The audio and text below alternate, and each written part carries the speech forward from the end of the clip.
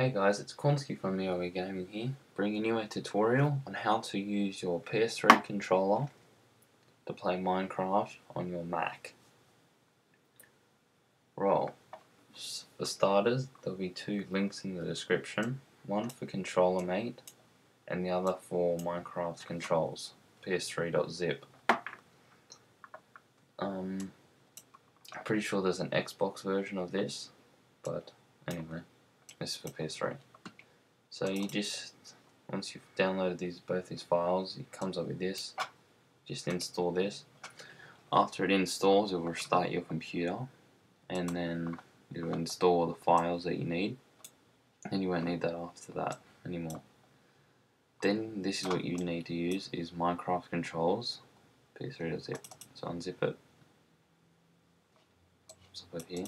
Should come with two files, a readme and that's pretty much how to do it. But it doesn't really make that much sense. It took me a while to figure it out. And you just open this. Double click.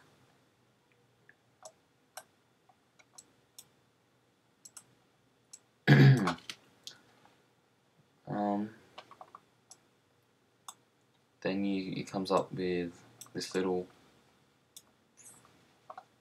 tab thing and you get the Minecraft programming, click on this and drop it and drag it into here.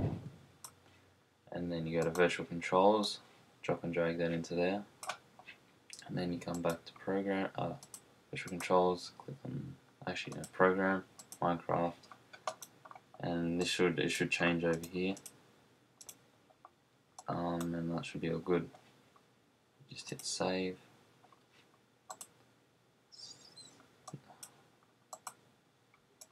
And then it should save because you've changed it.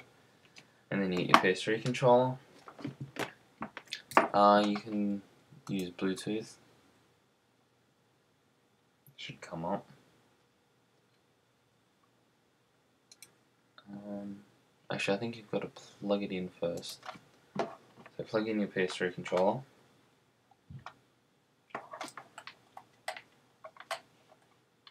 Alright, so yeah. So just plug it in that, unplug it, and that's me using the mouse PS3 thing right now. And come down to Minecraft, you could use R1 for this instead of um, say X or whatever. That's kind of fiddly. Um, just open Minecraft.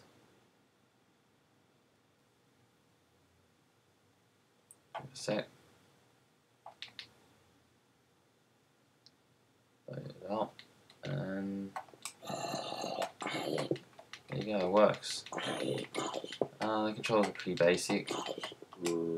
X is to jump, R1 to, to break blocks.